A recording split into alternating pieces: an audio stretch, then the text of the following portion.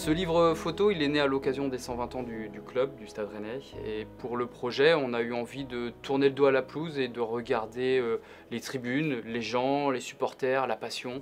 Euh, et plutôt que de juste de le, regarder, on, a voulu vraiment montrer ça. Euh, et donc on est allé piocher dans les archives de, dizaines de photographes du Stade Rennais, du musée de Bretagne, avec cette envie de, de jouer au ping-pong entre les photos d'hier et d'aujourd'hui pour raconter le supporterisme rennais à travers le siècle.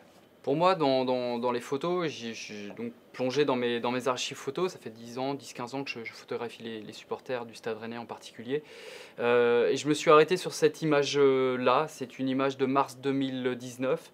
Euh, le Stade Rennais joue Arsenal et, les supporters se déplacent.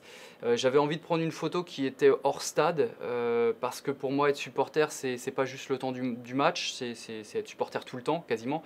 C'est pas la plus belle photo que j'ai pu faire, enfin j'espère en tout cas, de, de, de, mes photos. Mais j'aime bien, bien cette intimité qu'il y a dans cette image-là.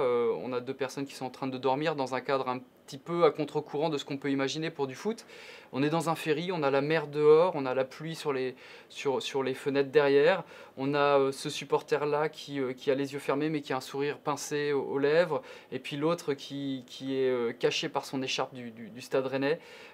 C'est une photo qui est cadrée assez simplement, et puis j'utilise la fenêtre pour pouvoir poser mon, mon, image et puis la table.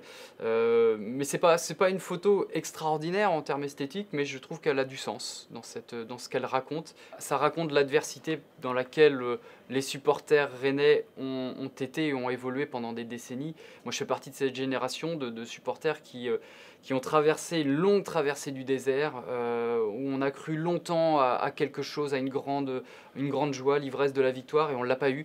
Et, je trouve que cette photo-là raconte ça, parce qu'à ce moment où, on prend cette photo, on n'a rien gagné, et, et on n'a même pas la perspective de gagner quelque chose, on a juste l'espoir de vivre un, grand moment à Londres. Et ce jour-là, il y a 5000 personnes qui se déplacent par tous les moyens euh, imaginables, la voiture, l'avion, le train, euh, et, puis, et puis le ferry. ils se déplacent, ils vont en nombre euh, à Londres pour pouvoir supporter leur équipe. Et je trouve que ça, ça dit beaucoup du, supporterisme rennais. C'est un supporter qui, qui, qui, va se déplacer, qui va croire en son équipe, avec une foi quasi religieuse, parce qu'il y a on n'a aucune raison objective de croire qu'on va gagner quelque chose à ce moment-là. Mais il y a un beau moment, enfin, ça dépasse le foot en fait, ça dépasse les 90 minutes de, football. C'est un moment de cohésion, de fraternité, on est tous ensemble.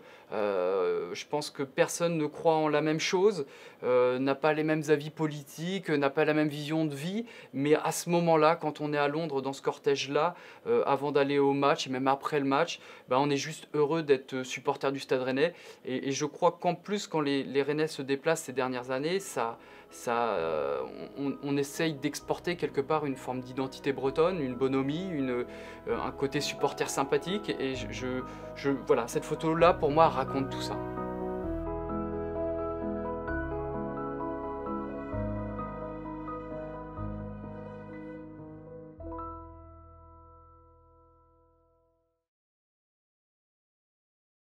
Salut le rouge et noir, pour vous abonner à la chaîne officielle du Stade Rennais, cliquez ici.